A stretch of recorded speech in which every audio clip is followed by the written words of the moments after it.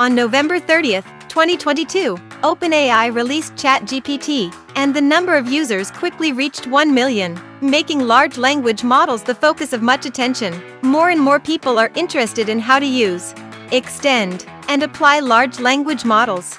The model that integrates language, vision, voice and other inputs is called a large multimodal model. Multimodal large models can process multiple input types of data at the same time, providing more comprehensive and diverse intelligent services. AGI universal robots can be made possible. For example, I ask it to get me a glass of water, and the AGI robot will understand by large speech and language models. Then, search for water through a large model of image vision. Next, it will grab the water cup and hand the water to me by path planning. Even if there is no water, it can find the water dispenser and fill it with water for me.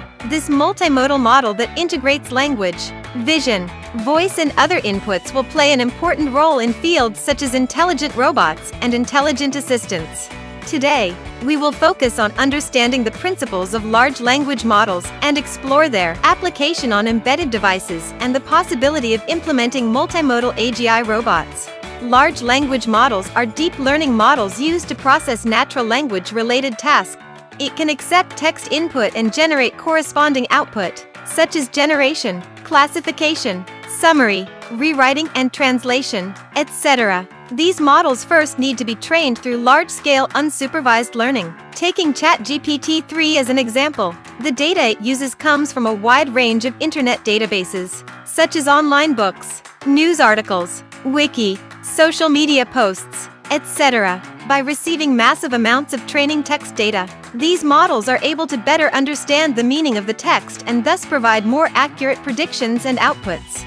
ChatGPT generates sentences based on the understanding of the previous text. It will pay special attention to the most critical words based on the text you provide, and then organize the text from the vocabulary. Its core is built on the self-attention mechanism. GPT is a generative pre-trained transformer. The transformer is a deep learning model built by the attention mechanism. The attention mechanism is derived from Attention is All You Need released by Google in 2017. The way attention works is similar to the way the human brain acquires information. For example, when reading a sentence or article, we do not remember the entire content, but focus on keywords and important information. The implementation mechanism based on ChatGPT imitates this process, allowing each output element to consider all elements in the input sequence and giving them different weights. ChatGPT continues to generate text content based on these weights. Did this large language model can be applied to low-power embedded devices?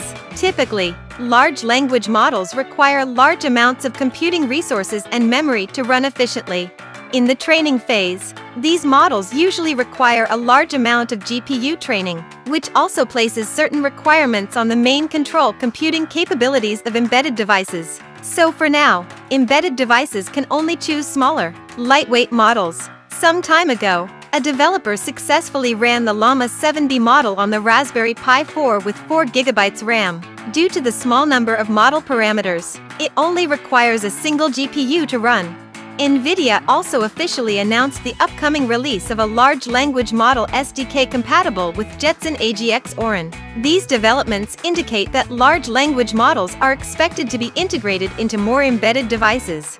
With the gradual popularization of large-scale language models on embedded devices, artificial general intelligent robots will be better developed. Not only can it achieve more intelligent voice dialogue, but it can also combine sensor, radar, depth camera and other technologies to create a more intelligent multimodal AGI robot.